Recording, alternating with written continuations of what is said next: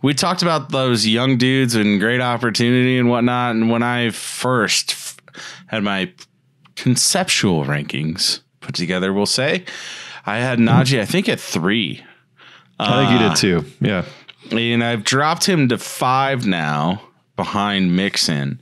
Um, and he has ended up as our running back six. You have him at seven. Um, you know, it's just a matter of the quarterback situation, really. Uh, he is currently going eighth, ninth overall. His ADP is 8.8. So, you know, second half of the first round, but early first, early, early middle first round.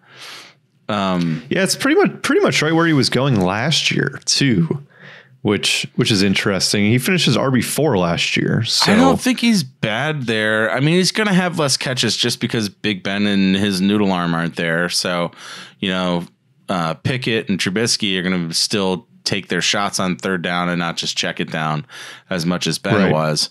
But Najee Harris is a bona fide workhorse.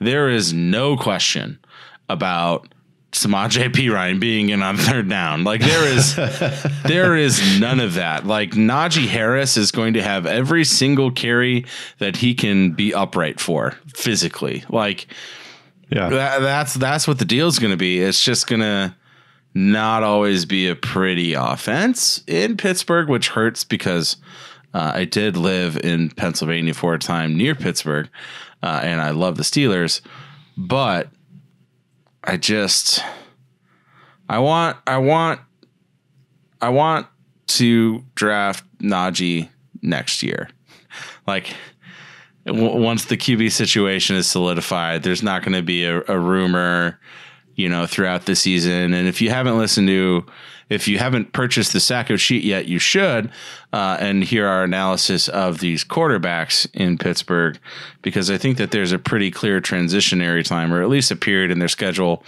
that is ripe for transition from uh, Trubisky to Pickett. But I just.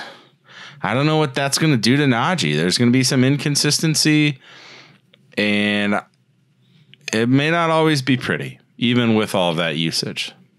This is strictly a we don't like their offense that much, and so you just have to downgrade him because you have to. Like, period. We like basically all the offenses more. We like Indianapolis's offense more. Christian McCaffrey's just a beast. He's almost offense proof.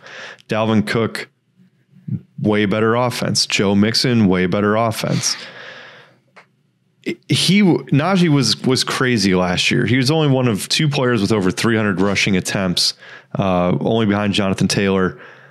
He was only one of four guys that have over 1,200 rushing yards. He had so many targets that he had the most touches in football when you combine the catches with the rushing yards. And now Trubisky's going to theoretically torpedo him unless Trubisky is actually talented where he was taken in the draft at number two overall. But I would just let somebody else deal with it because I, I just don't think they're going to score that many points.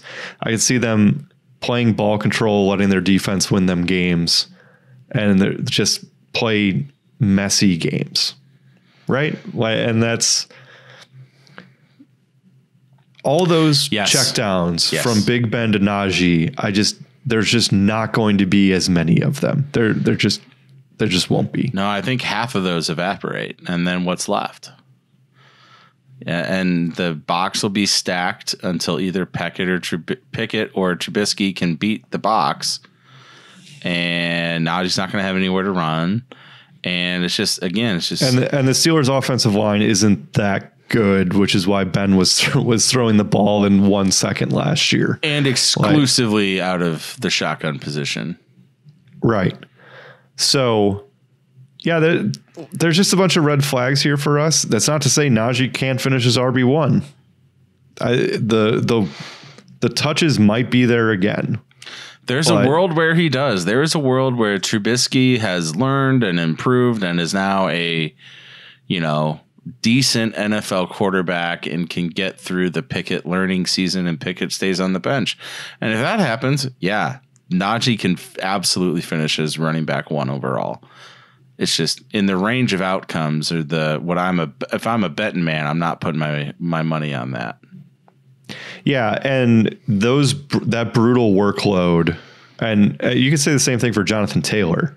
Having that many touches, there's only one guy that's that's really been able to sustain continued success with that many touches is Derrick Henry, who finally got hurt last year.